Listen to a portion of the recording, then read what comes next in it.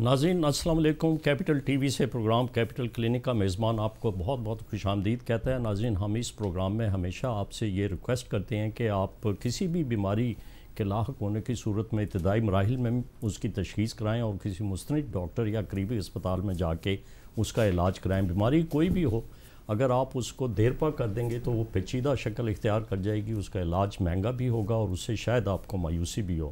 ہماری یہ بھی کوشش ہوتی ہے کہ ہم جو بیماری ہم نے آپ کے لیے جس سے بچنے کے طریقے بتانے ہوں، اس کے ہم ایکسپرٹ اپنے اسٹوڈیو میں بلائیں اور آپ کو ہدایات دیں کہ آپ عطائیت کی طرف رجوع نہ کریں۔ بہت سارے مرض خراب ہو جاتے ہیں جب آپ عطائیت کی طرف رجوع کرتے ہیں۔ یہ بات صحیح ہے کہ قوم ملک سلطنت کی معاشی حالت اگر دیکھیں تو وہ اتنی بدترین ہوتی جا رہی ہے کہ وہ سستا علاج دیکھ کے عطائیت کی طرف رخ کرتے ہیں۔ لیکن اگر قریبی اسپتال جائیں اور سرکاری کسی ٹشی کیئر اسپتال میں جائیں تو آپ کا علاج فری بھی ہوگا اور وہاں پہ آپ کو ایکسپرٹ بھی ملیں گے اس بیماری کے۔ تو آج میں اسٹوڈیو سے آپ کے لیے اس ایک بیماری سے بچنے کے طریقے پوچھوں گا اپنے مہمانوں سے، جو کہ اگر کسی بھی دنیا میں ملک کی معاشی حالت بہتر ہو تو وہ بھی ساتھ ساتھ اس اس کی ایپیڈیمکس اور وہ ایک بیماری جو ہے وہ بائی صورت اختیار کر سکتی ہے اور وہ ہے موٹاپا۔ کون سی چیزیں ایسی ہیں جو موٹاپے کی طرف لے کے جاتی ہیں اور موٹاپے سے ہم کس طرح بچ سکتے ہیں اور ان سے کیا مشکلات کسی شخص کو ہو سکتی ہیں؟ وہ ہم اپنے اسٹوڈیو میں مہمانوں سے پوچھیں گے۔ میں سب سے پہلے ایکسپرٹ پینل کا میں تعارف آپ سے کرواتا چلوں۔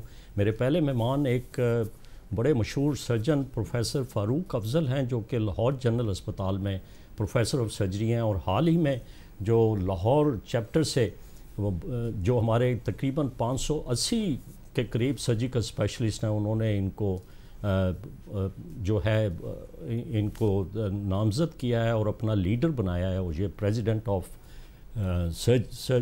سرجیکل ایسوسیشن ہے اور ان پہ بہت بڑی ذمہ داری عائد ہوتی ہے کہ وہ ہمارے ملک میں کچھ ایسے ایس او پیز بنانے کے لیے کوشاں رہیں گے کہ جس سے کہ ایک عام شہری، ایک اسپتالوں میں ہنگامی طور پہ جب وہ کوئی سرجری کا علاج کرانے آئے تو وہ اکثر مایوس ہو کے جاتا ہے وہ کیوں جاتا ہے؟ اس وقت دوسرے ہمارے مہمان جو ہیں وہ پروفیسر ڈاکٹر سید عمران علی شاہ ہیں جو کہ ایک بہت ہی پیچیدہ اور نازک اسپیشیلٹی کو ڈیل کرتے ہیں۔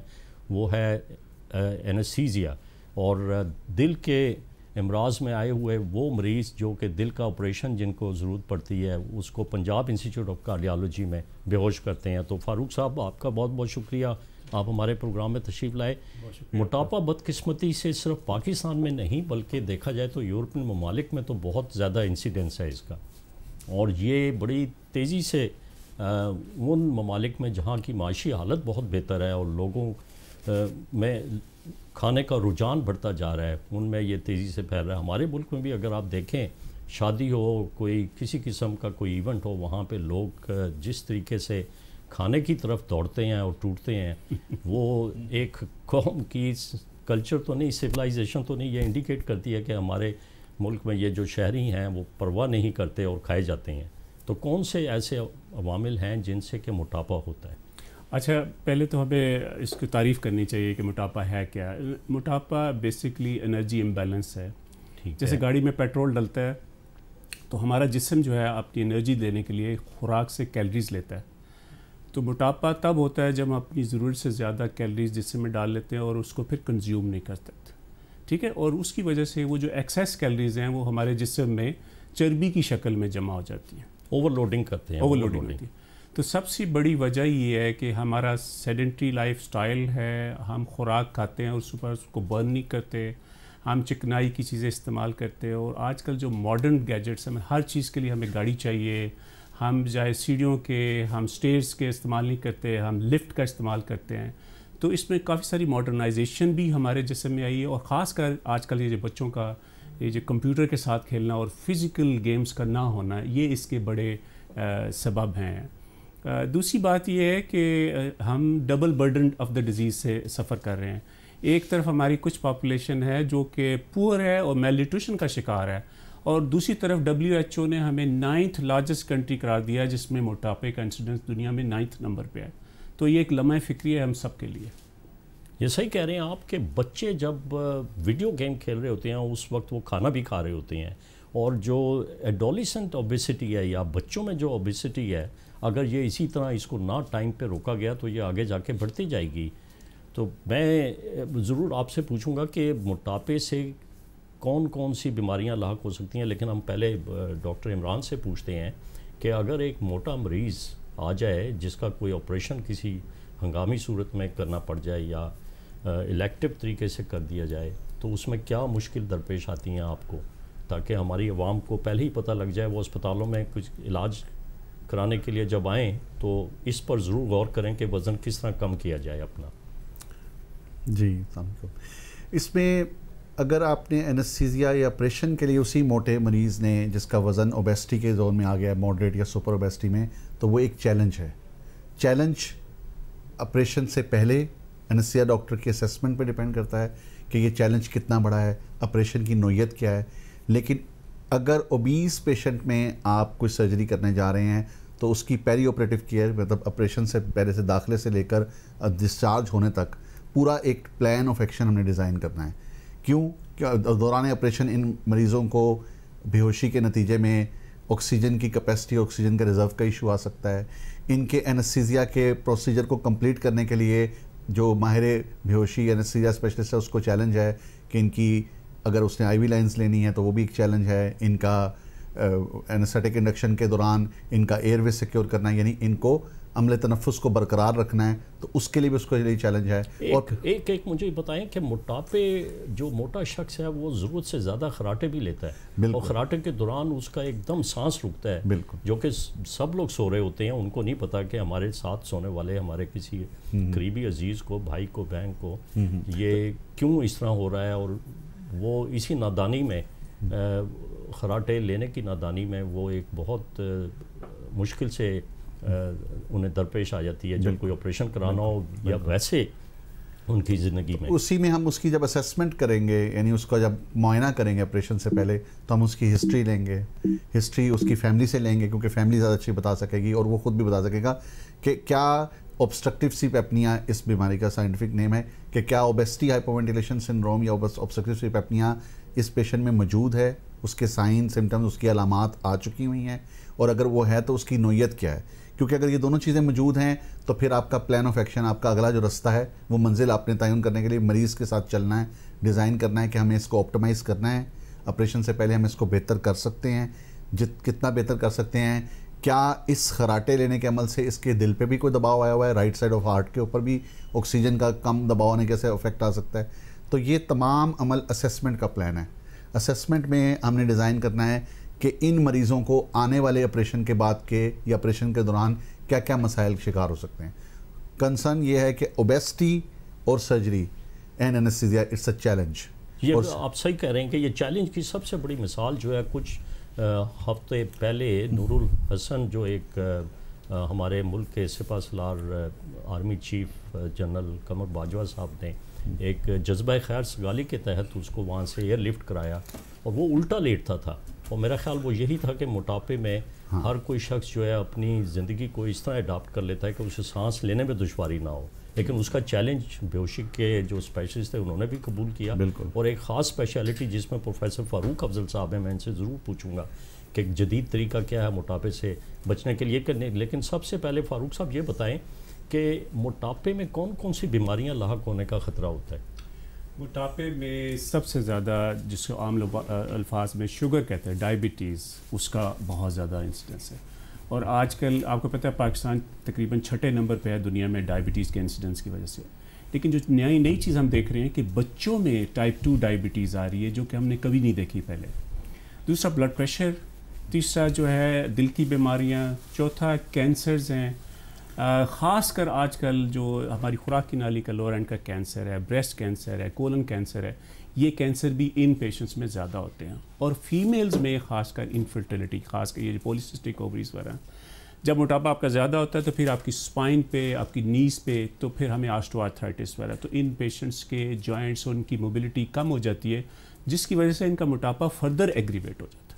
تو موٹاپا بیسکلی امل امراض ایک ایک سینس میں ہم اس کو کہہ سکتے ہیں کہ امل امراض صحیح کہا پروفیسر فاروق بتا رہے ہیں کہ اگر کسی شخص کو موٹاپا ہے تو اس میں شوگر بلڈ پریشر دل کے امراض اور کچھ سرطان جو ہے جسم میں، جسم خوراک کی نالی کا ہے، چھاتی کا ہے یا بڑی آنت کا ہے، اس کا زیادہ ہونے کے کا اندیشہ ہوتا ہے۔ ہم اسی ٹاپک کو اب جاری رکھیں گے، لیکن چھوٹے سے وقفے۔ پروگرام میں دوبارہ خوش آمدید کہتا ہوں، آج ہم قوم ملک سلطنت کے لیے اپنے اسٹوڈیو سے موٹاپے کے اوپر اسٹوڈیو میں آئے ہوئے ایکسپرٹ ان سے بات چیت کر رہے ہیں کہ کس طرح بچا جا سکتا ہے۔ تو میں پروفیسر فاروق افضل صاحب آپ سے دوبارہ پوچھتا ہوں، آپ امریکہ میں بھی رہے اور اوریگون اسٹیٹ سے آپ نے فیلوشپ بھی حاصل کی۔ یہ خصوصاً جو موٹاپے کے جدید طریقے، طریقہ علاج ہوتا ہے، میں آپ سے پوچھوں گا کہ آپ ہماری عوام کو بھی بتائیں۔ کہ یہ کوئی اتنا پیچیدہ مسئلہ نہیں ہوتا بآسانی وہ موٹاپے پہ کنٹرول کر سکتے ہیں۔ لیکن پہلے میں آپ سے یہ پوچھوں گا کہ ایک موٹا شخص جو ہے، اگر ورزش کرے تو وہ دوڑ تو سکتا نہیں، کیونکہ آپ نے بتایا جوڑوں کی بھی تکلیف ہو جاتی ہے بیک بون جو ہماری ریڑھ کی ہڈی ہے، اس میں بھی نقص پیدا ہو جاتا ہے۔ تو وہ کس طریقے سے کنٹرول کرے موٹاپے کو؟ اصل میں اگر آپ نے دیکھے کہ ہم نے سب سے پہلے جو موٹاپے پہ میئر کرنے کیسے کرنا تو اس کے لیے ایک ٹرم استعمال ہوتی ہے باڈی میس انڈیکس وہ اس کا سادہ طریقہ کار یہ ہے کہ آپ کے ویٹ کو اپنی ہائٹ کے ساتھ ڈیوائڈ کریں. تو وہ جو تناسب آتی ہے وہ اٹھارہ سے نیچے نہیں ہونا چاہیے اور اور پچیس سے اوپر نہیں ہونا چاہیے. ایشینس کے لیے ہم کہتے ہیں کہ وہ تیئیس سے اوپر نہیں ہونا چاہیے. ایسا بندہ جس کا وہ تناسب تیس سے اوپر چلا گیا ہے ہم اس کو کہتے ہیں کہ یہ موٹاپے کا شکار ہے. اچھا جب تیس تک ہے تو اس کو ہم اوور ویٹ کہتے ہیں اور اوور ویٹ بندہ اگر ڈائٹ اینڈ ایکسرسائز کرے تو وہ اس سے فائدہ اٹھا سکتا ہے اور اس کو اتنا ایڈوانٹیج مل سکتا ہے کہ اس کا وزن صحیح طریقے سے برقرار رہ سکتا ہے۔ لیکن جب آپ تیس سے اوپر چلے جاتے ہیں، تو اب آپ کو پھر بیریٹک سرجری ایک ایسی سرجری جس کو ہم ویٹ لاس سرجری کہتے ہیں، اس کی ضرورت ہوتی ہے۔ اچھا عام الفاظ میں ہم کیا کر سکتے ہیں کہ ہم اپنا وزن برقرار رکھیں؟ تو جو موٹاپے کے لوگ ہیں، وہ وہ بائک اگر چلا سکتے ہیں، جو سائیکل جسے کہتے ہیں، اگر وہ چلا سکتے ہیں، تو وہ ان کو چلانی چاہیے۔ اس سے جوائنٹس پہ اثر کم پڑتا ہے۔ اسی طرح سوئمنگ کر سکتے ہیں تو سوئمنگ کرنی چاہیے اور سمپل سادہ واک جو ہے تین کلو میٹرس اس میں سے ایک کلو میٹر آئیڈلی دس منٹ کے اندر کرنا چاہیے اور thirty minutes in a day تو ان کو یہ کم از کم ایک سو پچاس منٹ پر ویکس یہ ایکسرسائز کرنی چاہیے۔ دوسری خوراک میں نیوٹریشن اور کیلریز میں فرق ہے۔ نیوٹریشن سے مراد ہے کہ پروٹین کتنی ہے کاربوہائیڈریٹس کتنی ہیں۔ کیلریز جو ہیں، خاص کر یہ جو ہماری فاسٹ فوڈ ہے، یہ ہائی کیلری ڈینسٹی ڈائٹس ہے۔ جوسز جس کے اندر میٹھا بڑا ہے جس کے اندر چکنائی زیادہ ہے تو ان کو کوشش کرنی چاہیے کہ آپ نے انیشیلی اپنی ڈائٹ سے کنٹرول کریں اور پھر اپنی فزیکل ایکٹیویٹی کو آپٹیمل کریں جیسے کہ میں نے جتنے جوسز آپ نے بتائے اس میں ایک خاص شوگر کی قسم ہوتی ہے جس کو فروکٹوز کہتے ہیں۔ وہ بھی سبب بنتی ہے موٹاپے کا۔ یہ آپ صحیح کہہ رہے ہیں کہ جو فاسٹ فوڈ ہے اس میں جو کاربوہائیڈریٹ ہیں نشاستہ وہ بہت زیادہ ہوتا ہے اسے موٹاپا ہونے کے چانسز بڑھ جاتے ہیں۔ میں آپ سے یہ ضرور پوچھوں گا کہ ہماری عوام، چونکہ ایجوکیشن سٹینڈرڈ وہ نہیں ہے، اس لیے انہیں آگاہی نہیں ہے اپنی صحت کے بارے میں۔ کوئی ایسا طریقہ بتائیں جس سے انہیں خود بیٹھے ہوئے گھر پتہ لگ جائے کہ کہیں ان کا جسم کا وزن زیادہ تو نہیں ہے۔ انہیں کیلکولیٹ کرتے ہوئے بی ایم آئی جو آپ نے بتایا ذرا مشکل پیش آئے گی۔ لیکن کوئی اور ایسی ریشو ہے جس میں جس سے انہیں پتہ لگ جائے کہ اچھا اس کا اس کا سادہ طریقہ کار ہے کہ ہم اپنی ویسٹ کی ایک دفعہ پیمائش کر لیں اور اپنے ہپ کی پیمائش کر لیں یا پھر ایک ٹیپ لیں جس ٹیپ کو آپ پورے جس اپنی ہائٹ کو میئر کریں اور اس کو ہاف کر کے اپنے پیٹ کے ساتھ لگا کے دیکھیں۔ اگر وہ آپ کے پیٹ کے ساتھ فٹ نہیں ہو رہی اس کا مطلب ہے کہ آپ بیسکلی اس اس نارمل ویٹ کی کیٹیگری سے باہر چلے گئے ہوئے ہیں۔ ٹھیک ہے؟ فیمیلز اور میلز کے لیے لام ریشو ڈفرینٹ ہے تو ایک نائنٹی سینٹی میٹر کا ایک رول رکھیے کہ ninety centimetre is the upper limit for male and اسی طرح فیمیل میں بھی وہ ایٹی فائیو سینٹی میٹر سے اگر نیچے نیچے ہو تو وہ سینٹر ہے. لیکن سادہ آسان طریقہ کار وہ یہ جو میں نے آپ کو ٹیپ کا طریقہ کار بتایا وہ اس طرح آپ کو پتہ لگ سکتا ہے کہ آپ ریٹائر آپ کا اسٹینڈرڈ ویٹ ہے یا نہیں ہے. میں عمران صاحب آپ کی طرف دوبارہ آتا ہوں کہ آپ مجھے بتا رہے تھے کہ یہ بہت بڑا چیلنج ہوتا ہے کسی موٹے شخص کا اگر آپریشن کرنا پڑ جائے اسپتال کے اندر۔ جی جی۔ تو وہ کن مراحل سے آپ نے بتایا کہ اسے گزرنا چاہیے پہلے آپریشن کے لیے تاکہ ہماری عوام جو ہے یہ نہ کہے، وہ اکثر سرجنوں سے لڑتے ہیں کہ جی آپ ہمارا آپریشن ڈیلے کر رہے ہیں۔ لیکن یہ انہیں یہ نہیں پتہ ہوتا کہ انہیں فٹ کیا جا رہا ہے کہ آپریشن سے پہلے کچھ ایسے تحقیق کرنی چاہیے جسم کی کہ وہ آپریشن برداشت بھی کر لیں گے کہ نہیں۔ جی یہ پورا ایک پلان ہے۔ سب سے پہلے تو کہ مستند کوالیفائڈ انسٹیریولوجسٹ جو انسٹیریا اسپیشلسٹ ہے، اس سے آپ اپنی اسسمنٹ کروائیں۔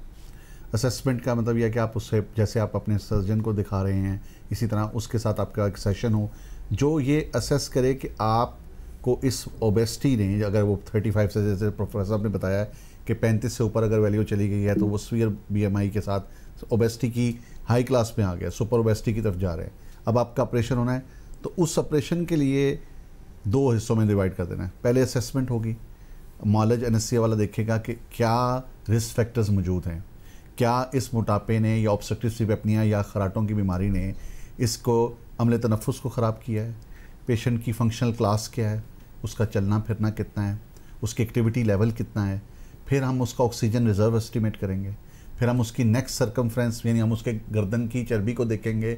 ساتھ میں اس کا ایئر ویسس کریں گے کہ کیا عمل تنفس کا پروسیس یعنی وینٹیلیشن کو دوران انستیزیا برقرار رکھنے کے لیے ہمارے پاس کیا چیلنج ہیں؟ پھر ہم ایک پورا پوسٹ آف پلان بنائیں گے۔ آپریشن کے بعد میں ان مریضوں کو خاص نگہداشت کی ضرورت ہے کہ مستند معالج جو ہے ان کی یہ صحیح کہہ رہے ہیں آپ عمران بالکل صحیح کہہ رہے ہیں کہ بہت مراحل سے گزرنا پڑے گا ایسے مریض کو جو موٹاپے کا شکار ہو یا ایسا مریض جو کسی پیچیدہ بیماری میں ہو کیونکہ سرجن اکثر ہماری عوام کو اسپتالوں سے یہی شکایت ہوتی ہے کہ ہمارا آپریشن نہیں کیا جا رہا۔ لیکن وہ اس چیز کو نہیں سمجھتے آگاہی نہ ہونے کی وجہ سے کہ ان کے پہلے ٹیسٹ ہو کے ان کی فٹنس ہونا بہت ضروری ہے۔ تو ہم ناظرین دوبارہ ایک وقفے کی طرف چلتے ہیں اس کے بعد پھر اسی موضوع پہ ہم اپنی ڈسکشن جاری رکھیں گے۔ پروفیسر فاروق افضل، میں آپ سے دوبارہ بھی پوچھتا ہوں کہ حال ہی میں لاہور کے تمام سرجنس نے آپ کو اپنا لیڈر آف اسپیشلٹی نامینیٹ کیا پریزیڈنٹ الیکٹ ہوئے ہیں۔ اور مجھے یہ بھی معلوم ہے کہ آپ نے لاہور جنرل اسپتال میں ایک ایسا ڈپارٹمنٹ تشکیل دے دیا جہاں موٹاپے کے جو مریض ہیں، ان کا آپ آپریشن کرتے ہیں۔ اب یہ آپریشن مہنگا بھی ہے۔ ہر شخص اس کو نہیں افورڈ کر سکتا۔ اور اگر دیکھا جائے تو یہ موروثی بھی ہوتی ہے موٹاپا کچھ فیملیز ایسی ہیں جن کے تمام فرد جو ہیں وہ ضرورت سے زیادہ ان کا وزن ہوتا ہے۔ تو اس سلسلے میں آپ کیا کہیں گے؟ ایک تو میں آپ سے ویژن بھی پوچھنا چاہتا ہوں کہ فیوچر کی ویژن کیا ہے؟ ہمارے اسپتالوں میں اکثر دیکھا گیا ہے کہ ہنگامی جو شعبہ ہے اس میں مار دھاڑ شروع ہو جاتی ہے۔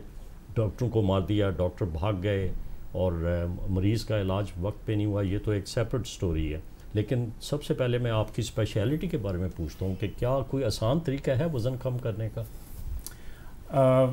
دیکھیں جس طرح آئی تھنک سب سے آسان طریقہ کار تو ہے کہ ہمیں پریونٹ کرنا چاہیے اور وہ پریونشن ہے تھرو لائف اسٹائل ٹھیک ہے۔ لیکن جب اب ہو گیا ہے تو اس کو موٹاپے کو میں ایسے سمجھتا ہوں جیسے کہ کمپلیکس کینسر کی بیماری کمپلیکس ہے اس طرح موٹاپا بھی کمپلیکس ہے۔ اور اس کے اندر ہمیں ملٹی ڈسپلنری اپروچ تیار کرنی پڑتی ہے۔ تو اس میں نہ صرف فزیکل پریپریشن جس میں کہ ڈاکٹر صاحب عمران صاحب نے بھی بتایا، بلکہ آپ کی ملٹیپل فزیشین کے تھرو اس کی پریپریشن بھی ہے۔ جس میں ڈائٹیشین کا رول ہے، اس میں سائیکیٹرسٹ کا رول ہے، اس میں فزیکل تھراپسٹ کا رول ہے، اس میں اینڈیکرونالوجسٹ کا رول ہے، اس میں فزیشین کا رول ہے۔ ٹھیک ہے؟ تو یہ ملٹی ڈسپلنری ہے۔ اس کو جو سرجری ہے، ہم اس کو یہ نہیں کہتے کہ یہ تریاک ہے۔ ہم کہتے ہیں کہ سرجری اس کا واحد علاج ہے جو کہ آپ کے وزن کو کم کرے گا۔ اس کو آگے سے اگر آپ نے مینٹین کرنا ہے تو اس کا بہترین طریقہ یہ ہے کہ آپ اپنے لائف سٹائل میں چینج کیجیے اپنی سوچ میں چینج کیجیے اپنی ہیبٹس کو اس طرح کا بنائیے کہ جو آپ کھاتے ہیں کیلریز ان کو آپ برن کرنے کے قابل ہو سکیں۔ صحیح کہہ رہے ہیں آپ، میرا خیال ہے کہ عوام کو آگاہی نہیں ہے قوم السلطنت میں۔ یہ بہت بڑا مسئلہ ہے کہ بہت سارے صحت کے مسائل جو ہیں وہ ہماری عوام میں پیدا ہوتے ہیں، انہیں نہیں پتہ ہوتا کہ ہم کیا کر رہے ہیں اور اس سے نقصان انہیں اٹھانا پڑتا ہے کہ اگر ان کی ول ہے تو دوسرے آسان اور سستے طریقے آپ نے بتائے کہ اپنے لائف سٹائل کو چینج کریں۔ اور اس کے علاوہ کوئی جدید طریقہ آپ جو کہ پریکٹس کرتے ہیں وہ ہے تو مہنگا، لیکن اس سے موٹاپا مکمل طور پہ جو ہے اس کا علاج ہو جاتا ہے۔ تو موٹاپا آج کل سرجری ہے جس کو ویٹ لاس سرجری کہتے ہیں بلکہ اس کو آج کل آج کل ہم میٹابولک سرجری کہتے ہیں کیونکہ اس کا سب سے بڑا افیکٹ جو آپ کی ڈائبٹیز ہے وہ ختم کر دیتی۔ ہے تو چونکہ ہمارے خاص کر سب کانٹیننٹ میں even at lower B M I ہمیں وہ ڈائبٹیز کا شکار ہوتے ہیں۔ تو ہم نے دیکھا ہے کہ موٹاپے کی سرجری جب ڈائبیٹکس پہ کی جاتی ہے تو ان کو بہت زیادہ اس کا ایڈوانٹیج ہوتا ہے۔ خاص کر وہ ڈائبیٹکس جن کا B M I thirty five سے اوپر ہے۔ اچھا دوسری بات یہ ہے کہ اس کی ایک فیسلٹی ہم نے لاہور جنرل ہاسپٹل میں کریٹ کی ہے، جہاں پہ ہم مریض کو یا تو ٹوٹل فری ہے یا پھر کچھ جو کہ اپنا سامان افورڈ کر سکتے ہیں۔ ہم کہتے ہیں کہ آپ تشریف لائیے، اور اگر آپ افورڈ نہیں کر سکتے تو ہم گورنمنٹ کی مدد سے آپ کو ہیلپ کرنے کو تیار ہیں۔ جو ایکسپرٹیز ہے وہ آپ کو انشاءاللہ انٹرنیشنل لیول کی ملے گی، اور انشاءاللہ اس سے ہمیں پتہ ہے کہ ہماری قوم کا کافی لوگوں کا بھلا اس میں ہوگا۔ دوسرا آپ نے پوچھا ویژن کے بارے میں as a society of surgeons کے پریزیڈنٹ کے طور پہ تو میرا صرف ایک ہی ویژن ہے to promote academics and collaboration amongst the surgeon I think academic کو امپروو کیے بغیر ہم اپنی پیشنٹ کیئر کو بہتر نہیں کر سکتے۔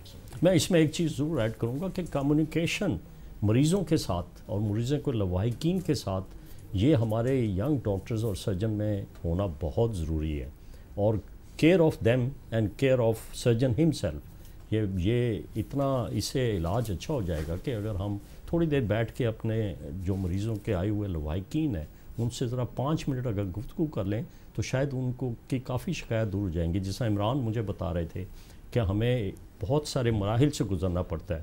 تو عمران، اب میں دوبارہ آپ کی طرف آتا ہوں کہ موٹاپے میں آپ کیا بہتر سمجھتے ہیں کہ اگر ہم سرجری دیکھیں تو ایک تو ہے ہنگامی سرجری، ایک ہے شیڈولڈ سرجری۔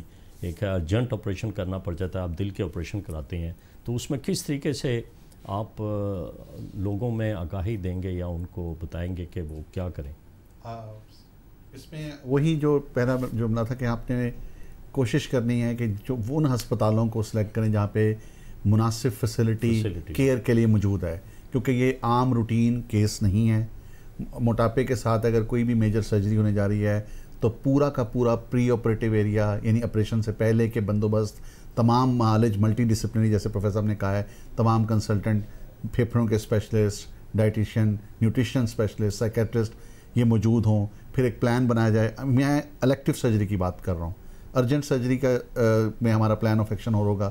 پھر اس کے بعد آپریشن کے دوران انیسیزیا کی فیسلٹی آپریشن تھیٹر کے اکوپمنٹس کی facility we need at highers level ہمیں پوسٹ آپریٹو کیئر کے لیے بھی ہائر لیول کا اکوپمنٹ چاہیے۔